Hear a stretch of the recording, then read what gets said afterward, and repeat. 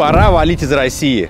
Дальше будет только хуже. Вот если бы заиметь себе недвижимость где-нибудь в Европе, жизнь станет сразу лучше. Знакомы вам такие слова? А бывает еще так, что люди залазят в интернет и видят шикарные предложения. Недвижимость в Европе, в Испании, в Италии, во Франции по цене 25-30 тысяч евро. И это еще не однушка, а двух, а то и трехкомнатная квартира. Как вам такое? Сегодня речь у нас пойдет про квартирку в Италии. И вот вам живой пример. Скалея – это юг Италии. Квартирка в доме пятиэтажном на пятом этаже площадью 70 квадратных метров. Три комнаты по цене 25 тысяч евро. За услуги риэлтора, оформление нужно будет заплатить еще 5 тысяч евро. И таким образом 30 тысяч полная цена.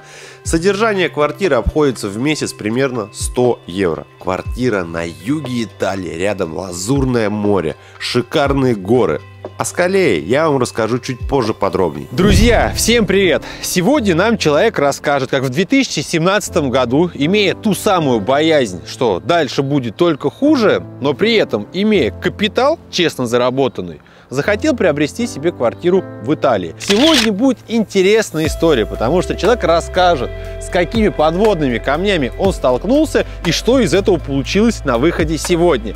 Вот этот сюжет для многих из нас ну просто полезен, потому что 20-30 тысяч евро как бы кто ни сказал, но сумма еще подъемна. А тем более, когда ты понимаешь, что эти деньги ты вложишь в недвижимость за границей, так ее же сдавать можно, денег зарабатывать. Как это происходит на самом деле и что из этого получается, вот в этом видеоролике вы все узнаете из первых уст. Давайте сделаем так. Я вас сейчас познакомлю со спонсором выпуска, а после чего мы перемещаемся в Московскую область, на территорию ее э, дома. Дом старенький, остался от мамы, и где она нам в уютной атмосфере все расскажет по полочкам.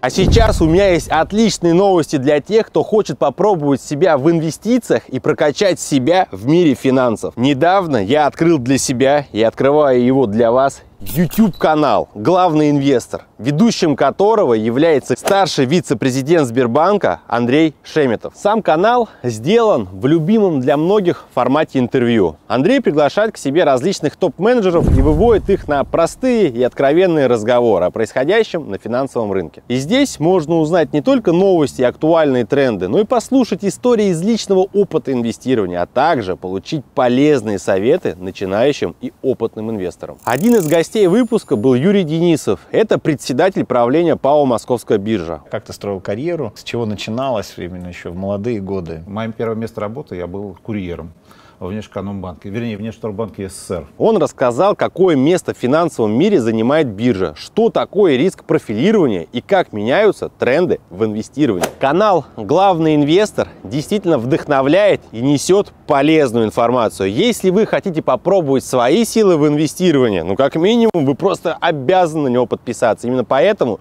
ссылочку на него я оставляю в описании. Главный инвестор, смотрите и получайте полезную информацию. Знакомьтесь, друзья, прекрасная девушка Александра. Александра, очень приятно, что вы пригласили в гости. И на самом деле, когда я прочитал вашу историю, вы мне кратенькую описали, я подумал, блин, ну вот это вот актуальная информация, о котором в основном в интернете мало обратной связи. Люди вроде бы покупают, многих как вы, считают успешными, а зажиточные вы, москвичи, купили себе квартирку на юге Италии и еще жалуетесь. Но при этом забывают о том, что есть такой большой подвох, с которым вы, в частности, столкнулись. Поэтому, ребята, прежде чем мы начнем, и Саша нам все расскажет, у меня одна к вам просьба. Человек в открытую с нами делится своей проблемой. Писать о том, что она не подумала, сделала неправильно, но она уже сама это прекрасно понимает. Вы намотаете себе на ус, ей огромное спасибо, что она вообще согласилась на камеру это рассказать.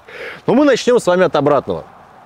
До того, как вы решили приобрести себе квартиру в Италии. Расскажите, чем вы занимались, где вы работали, путешествовали, не путешествовали? Да, э, я работала в крупной иностранной компании. А затем я завершила карьеру, чтобы ну, уже прям насладиться, вот эта мечта, попутешествовать, э, заниматься уже любимым делом. То есть я работала в финансовой области, перешла, получила третье образование, стала психологом, училась, консультировала, делала свои тоже проекты, курсы. И э, да, путешествовала в основном. Э, Попутешествовали по каким в основном странам? Куда любили ездить? Там Европа, это Турция? а Я куда? ездила в Азию много, в Индию, Таиланд, я ездила в Болгарию, в Италию. И в какой-то момент вы решили э, поехать в очередной раз в Индию, Да, где, собственно, произошло роковое знакомство. Вот давайте отсюда и начнем. Э, роковое, типичное, я сейчас смотрю очень много историй, все как у других, вообще никаких разниц.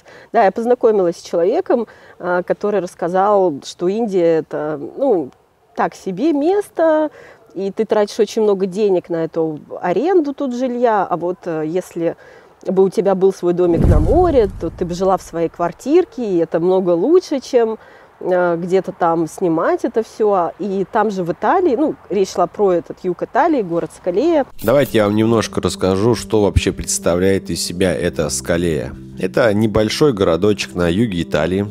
До столицы, до Рима, примерно 450 километров, а до ближайшего аэропорта 120 километров. Но, к сожалению, прямых перелетов из России в этот ближайший аэропорт нету. Соответственно, вам придется делать несколько пересадок. В этом городе проживает сегодня порядка 12 тысяч человек. И знаете что? Его называют русским городочком, в кавычках, так как здесь порядка 30-35% это русскоговорящее население. Окружает городочек Лазурное море, которое многие называют действительно очень красивым и чистым. Многие итальянцы местные приезжают сюда проводить свои отпуска, например, в августе. Ну и также есть шикарные виды на город. Сам по себе городок исторический, есть свои достопримечательности. Э, Туризм здесь на стадии развития. Чего-то прям такого градообразующего здесь нету, поэтому приехать туда с целью жить там на постоянке и работать, это будет действительно сложно. Но приехать туда и работать там удаленно, отдыхать, периодически сдавать недвижимость, вот этим стараются подкупать туристов с точки зрения инвестиций. Мол, вкидывайте деньги и будете сюда приезжать получать удовольствие. И звучит на самом деле очень даже неплохо. Старенький, уютный городочек со своей душой, куда можно приехать, пройтись, но, как отмечают люди, которые здесь проживают, что все это, естественно, быстро надоедает. Ну, поймите, друзья, все-таки недвижимость за границей, это больше как вот такая отдушина, что у тебя вроде где-то там что-то есть, то, что ты это можешь сдавать, захотел, прилетел. Картину вы поняли. Небольшой городочек, 12 тысяч человек. Там прекрасные закаты, прекрасные рассветы, совершенно чудесное море, фрукты, погода. И жилье там очень-очень дешевое. И, в общем, это идеальная ситуация. А если тебе не хватит денег на коммунальные платежи, то ты будешь сдавать и отбивать э, коммуналку. В общем, вообще ни на что тратиться не надо, никаких проблем, никаких забот.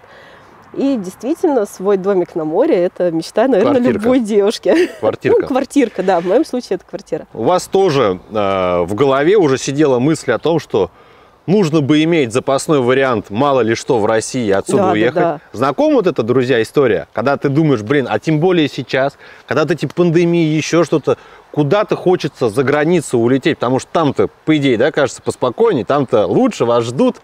Когда вы просматривали, насколько я помню, жилье там стоило примерно вот в вашем комплексе 30 тысяч евро. Да, 30 Расскажите. тысяч. Да. В моем комплексе это не первая линия, это немножко подальше, не на, самой, не на самом море. С видом на море это, конечно, другие цены за 100.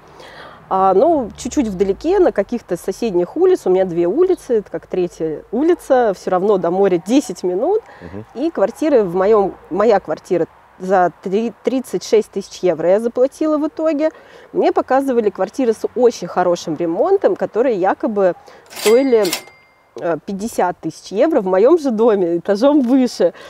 А, Вот такая была история. То есть говорили, что ты всего лишь сделаешь ремонт, э, и будет все замечательно. И 36 тысяч евро – это уже полная сумма с учетом оплаты э, налога, риэлтора, нотариуса. В общем, все то, что нужно. Изначально как бы эта квартира стоит 30 тысяч евро. Звучит так, что Захочу продать, продам за столько. 30-35 тысяч евро квартира в Италии, так еще у вас получается две спальни плюс кухня, совмещенная с залом. То есть по-нашему это трешка. Да.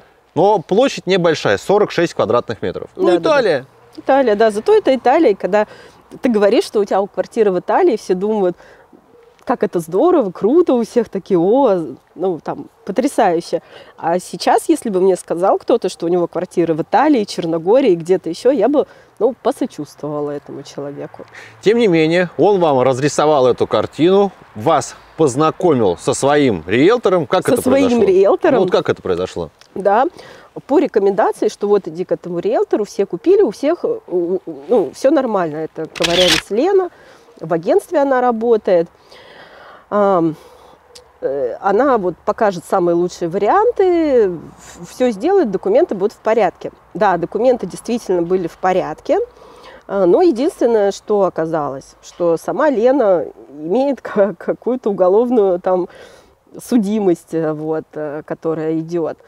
А, Показывают, обычно берут человека, когда приезжаешь, показывают вообще убитые какие-то квартиры, старые, разбитые, и вот вводят тебя от э, такого неликвида к тому варианту, который хочется продать. А хочется продать свою квартиру каждому риэлтору, у них там, у многих, кто в агентстве, кто давно там работает, есть какие-то еще свои квартиры, которые они как-то купили на, на деньги, как оказывается, других э, квартира, счастливых квартир собственников там, да, Про это мы расскажем, Ну, о чем позже. имеет речь, чуть позже расскажем. вот, и э, стараются, конечно, пропихнуть какой-то один такой или два варианта, с которого они максимальную комиссию имеют, и ну, моя ситуация была лучше, если бы я там однушку, например, купила, одну спальню. Такой Мгм. вариант был, он стоил 25 тысяч евро вместе вот со всеми услугами. То есть Мгм. сама квартира Ну, стоит понятное дело, площадь меньше. да, тут площадь меньше. Но я купила две спальни, хотя у меня нету детей, семьи. мне она, по сути, не нужна. Саш, ну давай, э, чтобы не запутать людей. Получается, ты, находясь в Индии, знакомишься с человеком приятной наружности, Абсолютно на который доверии вообще. Все на доверие. произвел даже- впечатление. Да.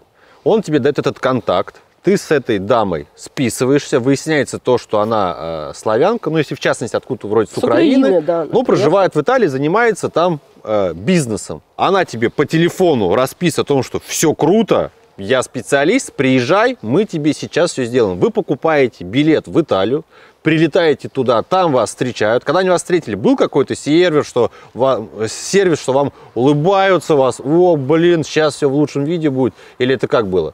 Ну, я приехала к тому же человеку, с кем познакомилась, кто мне про это рассказала. А он в Италии сам тоже живет. Э, Да, тоже такая же ситуация, там же квартира. Мгм. Вот. А, И я там даже бесплатно остановилась. То есть э, и все, все бесплатно обещали сделать. И если я куплю там квартиру, и бесплатно будут оплачивать коммунальные платежи, и бесплатно сделают то, и это. А в итоге все в скрытых платежах оказалось. в- А вот здесь сразу всплывают первые тонкости и игра слов. Для нас может показаться, как это? Бесплатно будем за вас платить коммунальные услуги. А в Италии есть такая услуга у местных жителей. Они берут э, с русских по 120 евро для того, чтобы за них один или два раза в год ходить оплачивать налог на квартиру и, в общем, все, что с этим связано. Потому что у них система построена так, что вот, например, Александра из России может оплачивать дистанционно только электричество. А этот самый налог нужно вот топать ножками на почту. По крайней мере, так она рассказала. Я там кое-что нарыл в интернете. Сам факт того, что ей говорят, для вас все будет бесплатно. Имеется в виду, что раз в год с вас 120 евро эти не возьмут. Но за все коммунальные платежи, само собой, вы платить обязаны. И будете это делать из своего кармана. Мной руководствовал очень сильный страх, что действительно Россия там уж закроется, и проблемы э, будут э, с банками, доллары перестанут э, выдавать. Ну, Откуда такое было? Это был 2017 это, год, это тогда про вирус информационный- еще... Это про вирус не было, Да. но я очень боялась, что вот что-то случится с банками, там долларов, доллары отменят, что страна закроется. Было очень такое нервное состояние. Многие знакомые уехали, и я находилась постоянно в этой каше, что надо срочно уезжать, срочно стресс. Я привезла туда с собой подругу. Я когда рассказала одной своей подруге, что вот я собираюсь купить Мгм. квартиру, то есть я ехала, я уже знала, что я в любом случае куплю квартиру там. Ну, вот это помешательство, какая-то стрессовая ситуация. Ну, э, а так и есть, уже все, надо признать. Я взяла подругу, она тоже со мной приехала и тоже там купила квартиру. То есть я привела этому риэлтору, который а, и нажился на мне, я привела еще ему одного клиента, и в результате я еще сейчас получила, она меня заблокировала, она мне хамила всю дорогу, то есть она обращалась со мной как я не знаю с кем, по-хамски все время. Ну, это то, что меня больше То всего... есть с самого начала, даже когда вы еще не купили квартиру, то есть до того, как вы передали деньги, уже было хамство? уже было хамство, то есть она считается, считает себя состоятельной женщиной, такой очень крутой. Хочешь покупай, хочешь не покупай, вообще иди отсюда. Вот такого уровня Хабалка. разговор, хабалка. То есть э, можно приехать, заработать очень много денег, но вот эта деревня, вот это отсутствие воспитания, ну, если над этим не работать, то оно никогда само собой не появится от большого количества денег. И потом, э, эта Лена, она мне рассказывала, что меня никто не уважает. Почему э, меня никто не уважает, ко мне все относятся неуважительно, э, люди злые, она говорила, дураки злые, то есть и в моем присутствии постоянно оскорблялись люди, которые у нее квартиру купили. Как выяснилось в дальнейшем, у этой Елены огромное количество клиентов, потому что деятельность свою она ведет так, что каким-то образом э, замотивирует тех, кто уже купил квартиру, они приводят новых людей. Как Да, показывает практика, это, хорошо сарафанное- получается. Сарафанное радио, то есть платится какой-то процент. Она потом к моей подруге подходит и говорит, я тебе заплачу, а, по-моему, она назвала 2000 евро комиссии, если ты приведешь клиентов дорогих на дорогие квартиры. Ага. Ну, А- если это не дорогие квартиры, я думаю, что комиссия меньше, то, что вот сейчас я знаю, по 400, по 500 евро платят комиссию вот за такой вот неликвид. Ну, давайте чуть-чуть о хорошем. Получается, вы приехали, вас поводили по убитым объектам, показали вам потенциально вашу квартиру, которая на сегодняшний день в которой был сделан Ваша. небольшой косметический ремонтик, побеле- побеленные стены, в ужасном состоянии окна, с которых дуло, потому что это все фонд 80-х годов. В 80-м году построили весь город Скалею, построили очень много плохо сделанной недвижки, которую сейчас все до сих пор продают, э, сдают, э, потому что там нет никакой работы, там нет производств. То есть Италия, которая на севере, в Милане, во Флоренции, Мгм. вот Рим это граница, все, что ниже, а уж тем более то, что ниже Неаполя, сами итальянцы не морщатся, когда я говорю, что я живу в Скале, они говорят, где, да там же, та- там мафия, кстати, Сра- находится. Сравнить с Россией это какая-то глубинка, что-то типа большой деревушки, где также нету никакой работы, правильно? Да. Что, но при этом красивое море чистое и Чисто. э, красивые горы, воздух свежий. Природа очень классная, море чистейшее, самое красивейшее, которое я видела. Закаты, рядом лес, парк Полина, ну тоже там 15 минут на машине съездить. Кухня, продукты, Кухня, ну, белиссимо, дольче ресторанчики есть же, правильно? Конечно, ресторанчики, очень хорошие ресторанчики, домашняя еда, и действительно это все вкусно. Можно путешествовать по соседним городам, то есть очень много вот таких локаций, как Скалея, все бесконечно развлечения. Саш, расскажи, ты планировала там пожить? Или что ты планировал? Ты покупала эту недвижимость. Если бы ты, например, уехала бы туда, но нужны деньги, соответственно, у тебя есть доход, есть ученики, с кем ты... Друзья, ни в коем случае не какая-то там скрытая реклама, мы рассказываем просто, чем человек параллельно сегодня зарабатывает денег. Образование, дистанционка для многих из вас это кусок хлеба, точно такой же. Вы могли бы там работать, и при этом у вас Да. еще есть квартира, которую вы по ДКП сдавали в аренду, верно? Да, до пандемии сдавала здесь в аренду квартиру. С двух доходов, соответственно, вот можно денежка на можно проживание было бы там. там жить. Хорошо. Получается следующая картина. Вы ее купили, вы ее оформили. Ну и давайте теперь самое интересное. Что происходило дальше? Купила, оформила. Ну, а уже во время оформления, если просто забыть, что было до этого, ты говоришь, у тебя был какой-то план, я хотела что-то сделать. У меня Мгм. плана никакого не было. Это самая большая частотная ошибка. Кажется, что там можно все и переехать туда, и действительно удаленно работать. И потом по факту оказывается, что ну, или сдавать эту квартиру, получать какой-то доход. Все думаешь, что у тебя это получится, а на самом деле ничего не выяснено было. И я попала в то, что уже квартиру мне по договору продали с уменьшенной стоимостью. Сколько? В договоре, значит, написано 15 с чем-то, ну, 16 тысяч евро. То есть при продаже я сейчас вот это узнала, что я столкнусь с повышенным налогом, поскольку я не резидент Италии, у меня нет ВНЖ, а, то я должна буду заплатить от 20 до 40 процентов э, налога. У меня это считается вторая недвижимость. Для всех иностранцев это вторая недвижимость. Я плачу все налоги по максимальной ставке. У них есть коэффициенты, и вот я по максимальному коэффициенту плачу все налоги. Вот, это сразу по договору. Когда я приехала туда, уже начала жить и пользоваться всем, я в какой-то момент получила штраф. У вас уже 25 евро штраф За что? за там, мусор какой-то или еще за что-то. При продаже э, риэлтор это говорит, я буду оплачивать твои коммунальные платежи все. Я думаю, ну это классно. То есть она сдает квартиру в аренду мою, она не отдает мне деньги, я их не вижу фактически.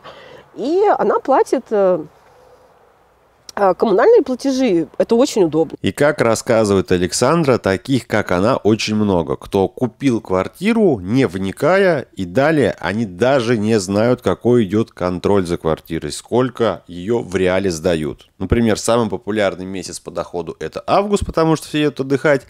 Тысячу евро заработали, на эту тысячу евро тебе не дают, так как удерживают для того, чтобы в дальнейшем выплачивать э, коммунальные платежи. С одной стороны, правильно, но ведь есть еще 11 месяцев, но неужели в течение этих месяцев никто не будет снимать квартиру там посуточно, на более длительный срок? Об этом ей, по крайней мере, ничего не говорили. Так, вилами по воде, что-то сдали, что-то не, не сдали. Какой-то четкой информации она не имела. Сама же она туда приезжала несколько раз за год, там, по осени отдыхать. И ты жила в этой квартире? Да, я, конечно, я там жила, также пользовалась всем, то есть мне было нормально. И я жила там где-то а, конец апреля, май, июнь. А, Было все замечательно.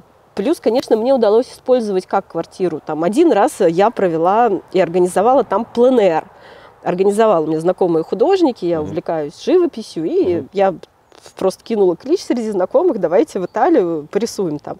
Ну, вот один раз и да, Короче, удалось покайфовать все-таки удавалось. покайфовать, получить доход. Вообще претензий нет, конечно, в этом плане с точки зрения кайфа и то, как там красиво и можно было в районе поездить. Так, чтобы путешествовать по всей Италии, такого у меня вот, ну, не было. Довольно-таки дорого перемещаться на поездах. На, на своих там отели в более цивильных местах, конечно, подороже. Хорошо, э, дальше происходит следующая история, что начинается пандемия, всех закрывают, и тут у вас разногласия с твоим вот этим риэлтором начинают она, достигать она не какого-то платит пика. налоги, да, она не, ну, по сути, скрывает все доходы. И я понимаю, что я не смогу приехать. В это время, плюс у меня случается и кризис, я закрываю свой здесь проект рабочий, у меня начинает болеть серьезно очень мама, у меня пожилая женщина, и я переключаюсь на уход за ней, я понимаю, что у меня сокращается доход здесь, в России, катастрофически для меня, и она не будет мне переводить. То есть она говорит, все, я ничего не буду переводить, мне не нужны вот ваши деньги, Э, ищи другого человека, кто будет приходить сюда ко мне, брать деньги и переводить тебе на карту. Ну, и все это вот в такой же хамской форме. Короче, Именно. мутная история. Мутная, непонятная история. Она вот со мной предпочла не связываться в наличке, что-то мне переводить, как-то оформлять. А я думаю, что это там никак не было оформлено. То есть все вот эти дела, которые ведутся, они ведутся в частном совершенно образом, в частном порядке. Никакой защиты ни у кого нет. И когда я, вот я начала писать про эту историю в общий чат, тут меня так, так возмутило, что все скрывается, все делается в серую. На мне заработали там, ну, уже кучу денег, я и клиента привела. И столько времени она просто пользовалась моей квартирой. И, и- А и то, тут что- она отказывает. У меня такое возмущение было. Я начала писать в чат, и люди, многие ее поддержали, потому что мы все находимся в одной лодке. У всех такие же проблемы. Мы все от нее просто зависимы на уровне покупки, продажи, аренды. И вариантов нет. Почему она себя ведет с таким гонором? Потому что ты один, находясь здесь, в России, не переехав туда, никак не можешь управлять своей недвижимостью. Вот и все, не можешь. А расскажи подробнее, потому что покупая недвижимость за границей, это не дает тебе абсолютно никаких привилегий. Визу ты последний раз получал, тебе дали на месяц, то Да. бишь никак это... Ну, да, два года мне давали визу на год, а перед пандемией, вот еще до объявления, дали на месяц визу. Я не могу получить ВНЖ, вообще ничего, купить там машину я не могу. Я получаю только налоговый номер и плачу туда двойные налоги. В казну. вот это ты можешь. вот это я могу. А чтобы получить вид на жительство, ты должна либо э, войти в брак с каким-то итальянцем, Да. родить ребенка от итальянца, который признает, что Да. это ребенок, либо вложиться в финансовые серии, открыть свой бизнес, вообще какие-то рабочие места есть Учеба. По определенные. учебе еще можно, если я поступаю туда учиться, тоже ты платишь деньги за обучение, учишься, ходишь. Ну, а это у тебя учебная на виза. перспективу все. Как бы потом ты можешь получить. Получив вид на жительство, только тогда ты можешь открыть расчетный счет, Счет в в банке. банке. Есть негласное правило, что если у вас нет ВНЖ и вы из Восточной Европы, то банки вам отказывают в открытии счета. Счет очень нужен для продажи квартиры, для покупки, ну и, соответственно, для оплаты всех коммунальных платеж- платежей. Если бы у меня э, был счет, я бы смогла дистанционно вот сейчас оплачивать коммуналку. Мгм. А так я не могу это оплатить ничего, кроме электричества. То есть вот электрическая компания в Италии принимает платежи через PayPal, например, Мгм, да, из мгм. российских карт.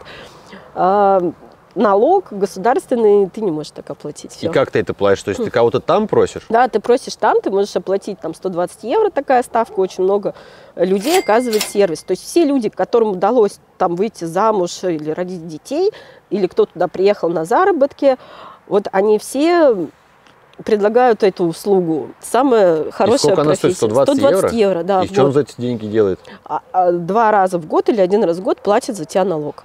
Просто на сегодняшний день информации, с одной стороны, в огромном количестве, а с другой стороны, начинаешь лазить в интернет, читаешь, и, как правило, все шикарно.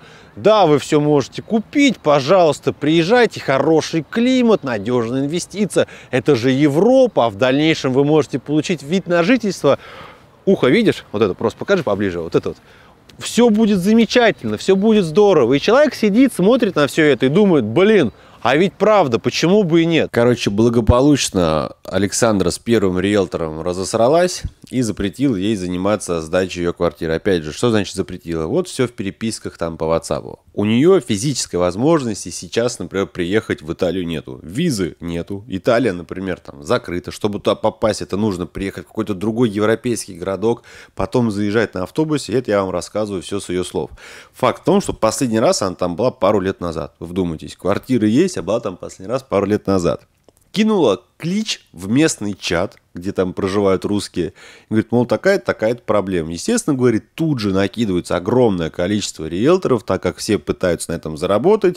И одна из них была более убедительна, рассказала, что все сейчас сделаем в лучшем виде. В общем, опять провела, произвела на нее впечатление.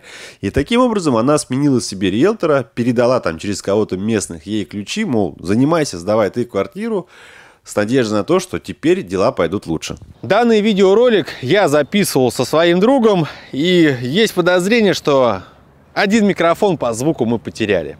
жительница из Приморского края, Ирина Штейман. Э, Она проживала в Петербурге, бежала из России, у нее какой-то кредит огромный, до сих пор не выплаченный, на сайте можно проверить, вот ФСН. А, Попросила политическое там убежище. Вот еще один способ, как переехать, она попросила там ну, политическое убежище, ей дали. Вот, и она там оказалась вот в этой плачевной ситуации, то, что, да, денег хватило вывезенных отсюда, сворованных, невыплаченных с кредитом, купить себе квартирку и искать, э, ну, вот, лохов, я не знаю, как э, дурачков, которые доверятся и будут работать с ней. На нее еще больше жалоб, очень много. Клиентов от нее отвалилось, перестали с ней работать. Когда я уже передала ей ключи, эм, э, начались проблемы. Какие, какого плана? Она стала покупать очень много несогласованных со мной вещей в мою квартиру. Делать там ремонт. Говорил, что это все бесплатно. Что она ремонт бесплатно делает. Я говорю, Ир, не делай, пожалуйста. Я уже не верила в бесплатность. Но остановить было невозможно. У человека, ну, как мне сейчас кажется, шизофрения. И мне писали люди, которые, которых она обманула. То есть она сдает квартиру, может взять предоплату, и вас туда не заселить, да, через вот сайт. Пожалуйста, это можно сделать. Слушай, а вот управа-то на этих риэлторов какая-то есть? Послушав тебя, я понимаю одно, что их там полно таких Я вот именно риэлторов-мошенников. Обратилась к адвокату. Я обратилась к адвокату. У меня там действительно есть друзья, которые живут, э, и у них есть свой семейный адвокат, и они устроили мне консультацию первичную, чтобы понять. Значит, э, с риэлтором, с которым, которому я сама ключи отдала, он мне сказал, то есть там римское это право не такое простое, как кажется. Если ты сама отдала ему ключи, у тебя не было договора никакого, все это по WhatsApp или вообще никакого договора нет, то ну, это в суд только идти. Суд это тысячи-тысячи евро. Короче, какой из этого всего смысл? Вот перед вами сидит э, живой человек, живой пример, который повелся на всю эту шикарную картинку. Когда ты приезжаешь, лазурный берег, горы, идеальная кухня, все здорово, можно сюда приезжать, так еще и при этом ключевое сдавать квартирку. Но при этом, уезжая домой, получается следующая ситуация, что все риэлторы что-то крутят, мутят, и ты никакого контроля над квартирой по большому счету не имеешь. Захотел ты туда приехать, у тебя вида на жительство нету. Визу тебе то дают на год, то дают на месяц, а то и вовсе могут не дать. Так при этом Италия, например, закрыта. Нужно искать какие-то пути для того, чтобы пробраться в свою квартиру. Захотел квартиру продать, избавиться от нее, а так нельзя. Сперва нужно открыть счет в банке. В счет в банке ты открыть не можешь, потому что ты не являешься гражданином страны, вид на жительство количество не имеешь, короче, дополнительный геморрой. А все это решать дистанционно невозможно. Ходит по Москве, спрашивает, найти какого-то толкового человека, ну, пока что ей не удается, чтобы ей помогли в этой ситуации разрешить. К чему я все это веду? Друзья, вот эти шикарные цены, низкие, многие попадаются в это. Вот она сама рассказывает, общается с людьми, общается в чате. Многие плачут, купили и не знают, что делать, постоянно какие-то проблемы. Начинается вечно вот эти споры с риэлторами за 50 евро. Другая что-то пытается обставлять оставлять вашу квартиру без вашего согласия. Ты не можешь прийти, закрыть дверь и сказать, ну-ка пошли все отсюда вон, потому что находишься в Москве, а квартира от тебя за 3-9 земель. Саш, ну а на сегодняшний день, вот если заходишь полететь, ты же что не, не, не слетаешь там, не нарулишь? Что к Ну, чему? Это невыгодно сейчас. Почему? Ну, потому что у меня это из, изо всех моих инвестиций, из того, с чего я живу, это самый, э, ну, такой дешевый вопрос и самый недоходный вопрос. И мне, чтобы туда поехать, надо получить как, каким-то образом уже не итальянскую визу, а там или греческую, или венгерскую. А что, тебе Италия не дает, ли, визу? Сейчас Италия вообще туристических виз А, не дает. вот почему. Туристических виз сейчас не дают. И, и ехать тоже мне надо будет сначала в Грецию, потом лететь в Италию, либо в Хорватию, там на машинах как-то, на автобусах. В общем, Да, то пандемия же, грин-пас везде нужен. То есть там Италия самая строгая страна по э, ковидным ограничениям, по мерам. То есть вы не можете купить билет на поезд, если у вас нет грин-пасса. Чтобы получить грин-пасс, вы либо тест сдаете, либо вакцинируетесь. Их не одобрены вакцины, у нас же еще ну, вот борьба этих вакцин идет. То есть то, что я вот вакцинирован, например, Ну, И там- нашим там не это не канает. Вообще, вот, то есть вам нужно будет два раза вакцинироваться, либо постоянно сдавать тесты, но там они вроде недорогие, говорят, 20-25 евро тест стоит.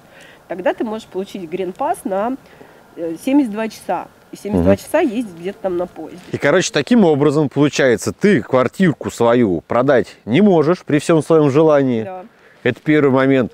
Приехать туда на сегодняшний день тебе просто уже становится экономически невыгодно, потому что, ну что ты толку туда приехала смотреть на все это дело, жить там тоже уже как бы желания, так подозреваю, особого нету. Да, жить там совершенно ну, смысла нет, город маленький, никакого... Ну, после Москвы вообще это очень сложно. Ну а как вот море красивое. Да, только море, только соседние города, в которых я уже была по два, по два-три раза. То есть все это уже быстренько надоело. Да, никаких ни концертов, ни выставок, э, перспективы тоже особо никакой нет.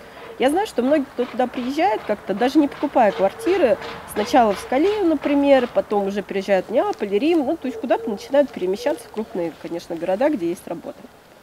Плюс надо еще учить язык. Если вот не знаете итальянского, а я знаю несколько языков, а итальянский не входит, английский у меня свободный, там никто не будет говорить с вами на английском языке. Особенно если вы приходите платить коммунальные платежи, и вот с этими людьми, которые там на кассе сидят, дедушки, бабушки, они говорят только на итальянском, и все. А с риэлтором последним у тебя какая-то связь сейчас вообще есть, или вы тоже с ним не разговариваете? Нет, мы, конечно, слава богу, мы заблокировались, потому что она уже, я говорю, начала писать мне сообщения, а, оскорблять меня по-всякому, удалять потом их, чтобы я их не сохранила. И сегодня Ну, твою квартиру никто не сдает. Ну, по крайней мере, ты так думаешь. То есть, возможно.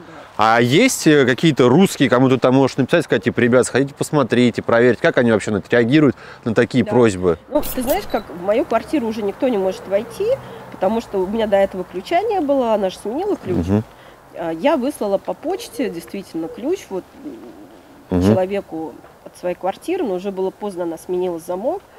Э, эта женщина только снаружи видит, э, что там на балконе висит белье или нет. Мгм. Я тебе дам фотографию, то есть есть фотография моего балкона, вот она этого года, там висит белье, понятно, что там кто-то живет. Как вам такой прикол? Вот он, второй этаж. Получается, она находится в Москве. Кто-то проживает в ее квартире.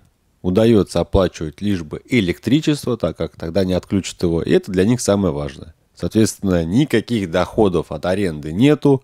Какая-то тетя поменяла замок в квартире вашей двери и спокойно имеет туда доступ. Она туда доступа не имеет пожаловаться на кого-то в полицию, это нужно делать по факту. Это нужно приехать и составить официальное обращение. А не издалека, вот из Москвы звонит, говорит, так, приедьте, разберитесь. Никто этого делать не будет.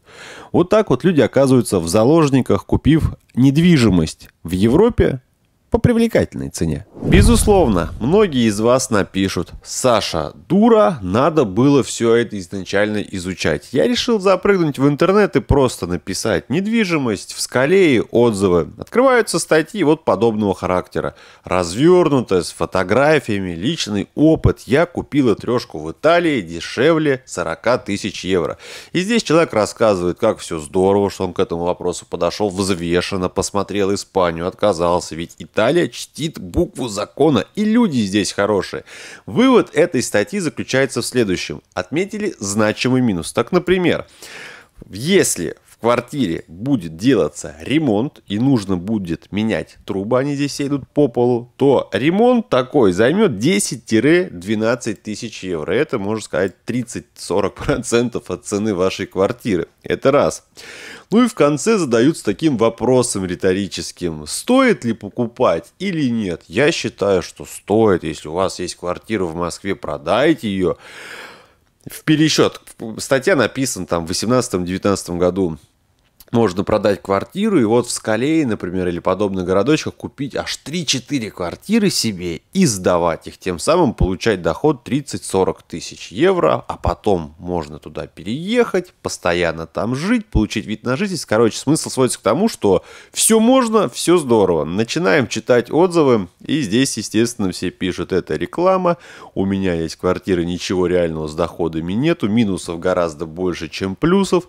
Заходим на различные форумы, та же самая история, что жопа это полная, по-другому и не скажешь. Вот вам, пожалуйста, реальность. Вот такая вот жизненная вам история, когда изначально все начинается красиво, ты приезжаешь, прекрасные закаты, горы, море. Италия, Европа. Никто тебе не говорит об этих сложностях, минусах, ты на эмоциях и серии. Ну, так звучит, да, тоже неплохо. 36 тысяч евро ты отдаешь и получаешь себе квартиру, две спальни, можно с друзьями приехать. Живи, наслаждайся, если что, можно сдавать, все это будет покру... Не, ну звучит реально круто. И на самом деле, я думаю, у многих из вас какие-то мысли подобные закрадывались, там, может, в Испании, потому что посмотришь, у некоторых там 25 тысяч евро. Начинаешь читать отзывы, оказывается, это цыганский район, срут, я уж извиняюсь за выражение, прямо на улице, в прямом смысле слова. Мусор, грязь, антисанитария, ты уезжаешь домой, они вламываются к тебе в квартиру всей шоблой. О, свод, о сквотерах он действует во всей Европе. Звучит он как? Если вы не живете в своей квартире один год, э, то туда может заселиться любой безработный гражданин, ну или иммигрант, и проживать в вашей квартире. Это в меньшей мере вот в Италии распространено, но тем не менее куча иммигрантов, которые приплыли там на лодках э, какими-то любыми нелегальными путями приехали, когда я в Неаполе выхожу с автобуса, иду на поезд, я прохожу сквозь туннель из э, вот афроамериканцев, сирийцев, там я не знаю, кто вообще все эти люди, индусы, которые ну, сидят прямо на улице, и вот вы через них идете. В наш регион они не едут, потому что им там не платят просто дотацию, их там гораздо меньше, но тоже встречаются. Поэтому, в принципе, во всей Европе очень сложно что-либо ра- рассчитывать на какую-то инвестицию в квартиру с целью сдавать.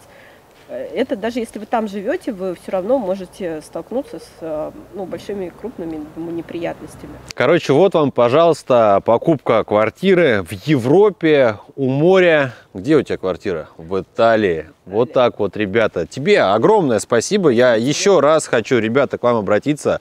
Сашу, ну ни в коем случае не надо оскорблять, друзья. Во-первых, ну девушку, зачем это нужно? хамить, это, а, дура, я же вижу ваши комментарии наперед. Человек доверился. Человек пришел, взрослые люди, которые говорят, возьмем бабок, но все будет четко, про все минусы значимые умолчали. А она нам с вами рассказывает. Соответственно, сейчас у многих, кто тоже не хочет читать, изучать, э, розовые очки могут упасть. И вот эта история, вот в Европе ты жить, там хорошо. Ну, продай свою квартирку, Саша даст тебе контакты риэлторов, и ты можешь купить себе там жилье. я думала, что со мной вот такого не случится. Как все. а, как Каждый, все. каждый да. смотрит и думает, ну тут понятно, тут какая-то дура сидит, Ну да. которая там стрессанула что-то. Я не стрессую, у меня все четко, у меня все продумано. Со мной такого не произойдет. И обязательно нарветесь, может, не на это, но на что-то другое. Такая вот жизнь. Ну что, друзья, вот такой у нас получился живой отзыв человека, который имеет квартирку, да в Италии. Да вот только доступа к ней нету. Продать ее при всем желании сейчас сама не может. У меня к вам огромная просьба. Если кто-то из вас в этом вопросе разбирается и действительно знает, какие действия нужно предпринять для того, чтобы ей помочь, контакты на Александру я оставлю в описании. Сразу хочу предупредить, если кто-то рассматривает какие-то мошеннические схемы, к сожалению, такие люди встречаются, можете даже не писать, потому что мы с ней договорились, что если вдруг кто-то будет, кто действительно будет помогать, мы будем с этим человеком контактировать и все перепроверять. Договор, все как положено. Поэтому, друзья, помогайте друг другу по возможности, подсказывайте, предупреждайте людей, что не так все сладко, как нам могут рассказать. В любую тему всегда нужно погружаться. И я надеюсь, что благодаря этому сюжету у многих из вас появилась полезная информация в голове. Вы будете понимать, что вот эти истории, ой, да там вот, хорошо, хорошо везде, где есть деньги. Вот имея квартиру в Италии, в Испании, во Франции, в Англии, в Нью-Йорке, да где угодно, когда у тебя есть бабки, чтобы там безбедно жить, вот это, конечно, здорово. Так и при этом, если ты проживаешь, например, у себя в стране, у тебя есть деньги, ты здесь будешь хорошо жить. Вы вдумайтесь, каково это оказаться в другой стране и начинать все с нуля, когда ты не знаешь языка. Это отдельная история для разговора. Поэтому все те, кто проживал за границей и готовы рассказать не год-два, а лет 10, Пишите, буду рад с вами встретиться, записать подобный сюжет, если вам действительно есть что рассказать объективно, с плюсами, с минусами. Подписывайтесь на канал, потому что дальше будет много полезных и интересных роликов. Подписывайтесь на инстаграм канала, потому что там всегда выходят свежие новости. Ставьте лайки, ставьте дизлайки, пишите ваше мнение в комментарии. До новых встреч, всем пока-пока.